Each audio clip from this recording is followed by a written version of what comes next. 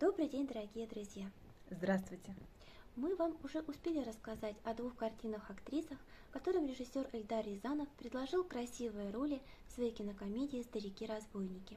В этом возмутительном фильме... В этом прекрасном фильме. Хорошо, в этом возмутительно прекрасном фильме в роли второго плана снялась и удивительная картина Андрея Матисса под названием «Танец». Скульптура отпадает в принципе, они приморожены.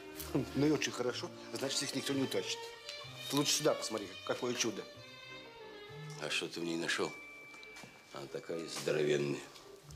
Кстати, о, о картине не судят по размеру. И потом, дай мне спокойно смотреть. Я хочу получать удовольствие. Мы здесь не за этим. А я лично, а я, а я лично здесь, потому что я люблю живопись. Ну, хорошо, хорошо. Вот так. Героем Юрия Никулина трудно не согласиться. Произведение действительно чудесное. Ну и герой Евстигнеева тоже прав.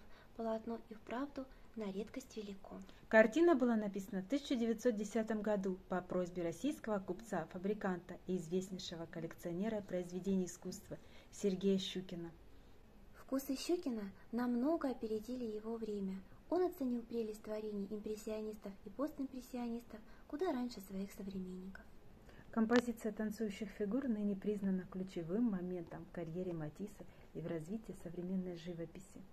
Предварительная версия работы, созданная художником в 1909 году в качестве этюда «Исследование композиции», ныне представлена в собрании Музея современного искусства в Нью-Йорке.